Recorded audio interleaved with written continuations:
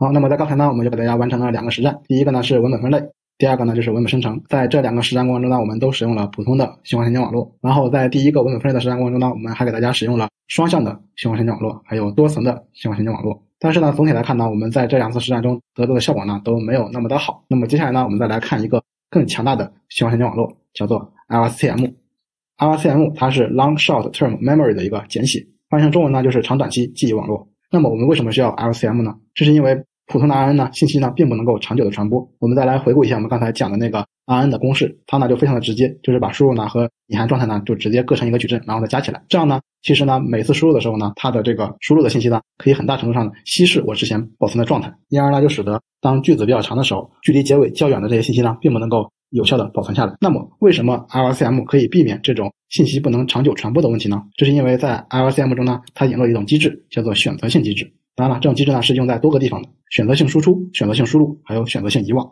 那么在 LSTM 中呢，它的选择性机制是如何实现的？在 LSTM 网络结构中呢，它的选择性机制呢主要是依靠一个叫做门的机制来实现的。那么什么是门？门的机制呢，其实跟这个 sigmoid 的函数呢是极度强相关的。我们首先来看一下什么是 sigmoid 的函数。sigmoid 的函数呢，它是一个输出值在零到一范围之内的一个函数，它的函数曲线呢是这样子。当 x 特别小的时候呢，这个 sigmoid 函数的输出呢就无限接近于零；当 x 呢极度大的时候呢，输出呢就无限接近于一。它的计算公式呢就是 f(x) 等于一加上 e 的负 x 次方分之一。这是 sigmoid 函数。什么是门呢？门线机制是这样的一种操作。比如说你有两个向量，一个向量呢是 a，一个向量呢是 b。其中呢，向量 a 呢我们称之为门线向量，b 呢就是我们要保存的信息。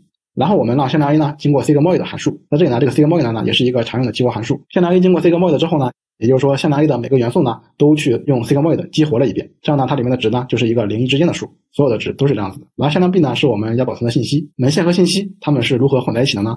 它们是用点击来混在一起的。在这里呢，我用这个星号来代表点击啊。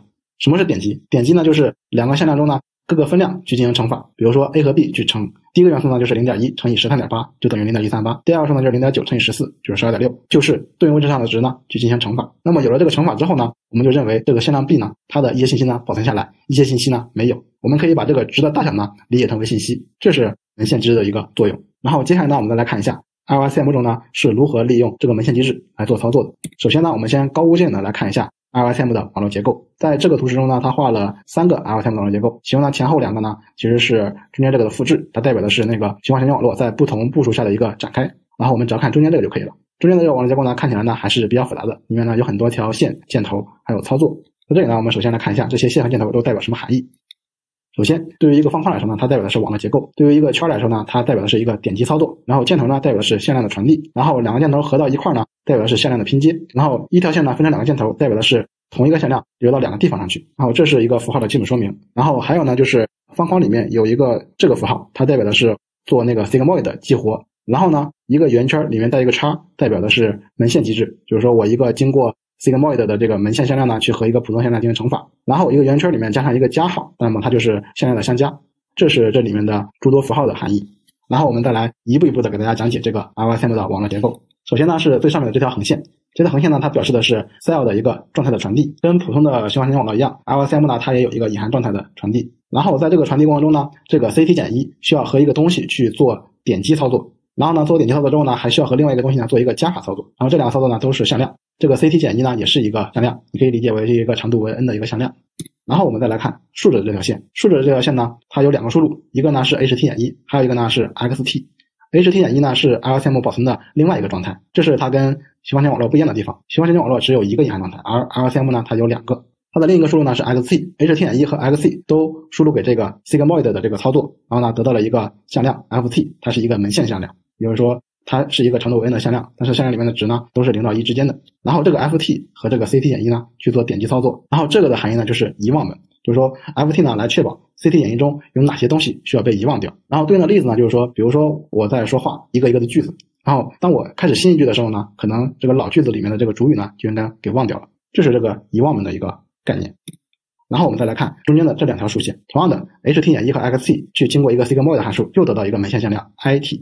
然后就是 ht 减一和 xt 经过这个 tanh 激活函数得到了一个 ct，然后上面有个波浪符号。这个操作代表的呢，就是说我从输入中能得到多少信息，然后得到这个信息呢，和这个 it 去做这个点击操作。it 呢是一个门线，然后呢 ct 呢是从输入中得到的这个信息。然后它里面做的是什么操作呢？这意思就是说我从输入中可以取到很多信息，但是呢，不是有那么多信息都是有用的。IT 呢就控制着我的输入信息有多少可以保存下来。在这里呢有一个例子，就是说对于我的一个主语来说，我可能是男性，可能是女性，那么呢，我是不是要把这个性别信息呢给提取出来？然后提取出来之后呢，我们还要看到它和这个经过遗忘的这个状态呢去做加法，然后就得到了一个新状态。